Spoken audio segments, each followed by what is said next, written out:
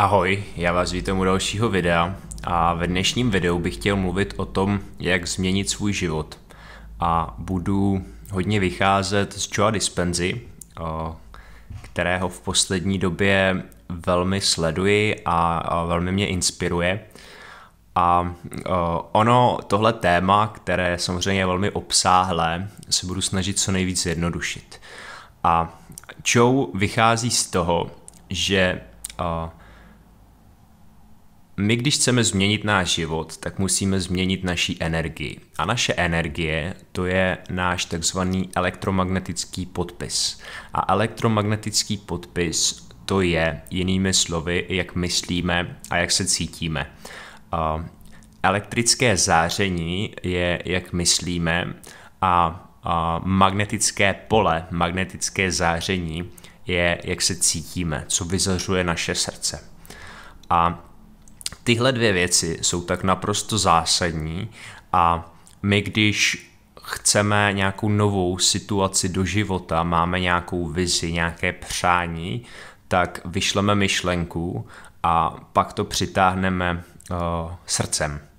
A jasně je to nějaký zákon přitažlivosti a já nejsem úplně jeho velký fanda, protože si uvědomuji, že to není zdaleka tak jednoduché, jak to třeba uh, se popisuje a velmi tam zasahuje uh, podvědomí a my potom přitahujeme něco, o čem nevíme, že máme v sobě uložené. Uh, nicméně uh, ta myšlenka toho podpisu je podle mě velmi dobrá a my bychom se měli soustředit na postupnou změnu těchto dvou věcí. A to je způsob, jakým přemýšlíme a také, jak se cítíme.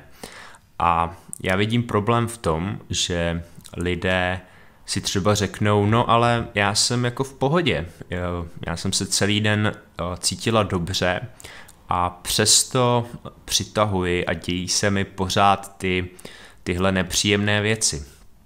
Jak je to možné? Eh, já si myslím, že důležité je si uvědomit, že my už spoustu věcí bereme jako úplnou normu. Způsob, jak se cítíme, bereme jako úplně normální a je to nějaký náš autopilot, ale eh, může být pro nás úplně normální se cítit proviněle, cítit eh, nějaký stud. A to si myslím, že je velmi časté a konkrétně u lidí, kteří jsou traumatizovaní, kteří, řekněme, eh, neprožili úplně lehké dětství, tak tohle v sobě opravdu mají vtištěné a berou to jako normu.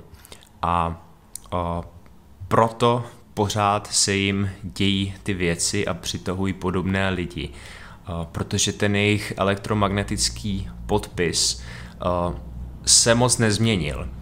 A co se týče myšlení, tak uh, tam je důležité pozorovat, jak třeba mluvíme sami se sebou, jestli jsme na sebe milí. Uh, Třeba Joe Dispenza konkrétně říká, že ty věci se změní nebo ty věci uh, přijdou za námi a ve chvíli, kdy budeme opravdu přesvědčeni o tom, že si ty věci zasloužíme.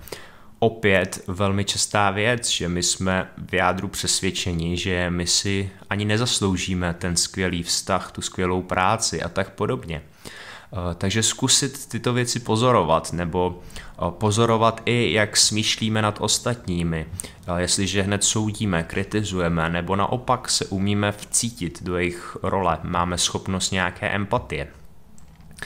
A David Hawkins, ten třeba mluví o tom, že ty věci se dějí, tady není žádná příčina podle něj, ale my jsme si to přitáhli právě tím naším polem, tím, kým jsme. A když jsme zosobnění lásky, tak se nám budou dít, řekněme, hezké věci, budeme přitahovat lásky plné lidi a podobně. A když jsme zosobnění právě studu, viny, vzteku a tak podobně, když to je nějaká ta převládající vibrace v nás, a tak se to bude odrážet v tomhle světě.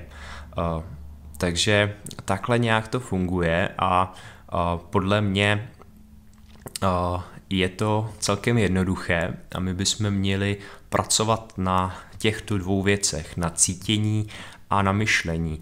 A u toho cítění, u toho srdce vidím trošku problém v tom, že eh, v dnešní době asi hodně lidí už spadlo do nějaké té apatie a řekněme, že na dobro zavřeli to srdce, protože se hodněkrát spálili, zklamali a zkrátka to vzdali, řekli si, no to nemá cenu a radši to srdce zavřu a nebude mě to tak bolet, než abych na pravidelné bázi zažíval nějaké bolesti.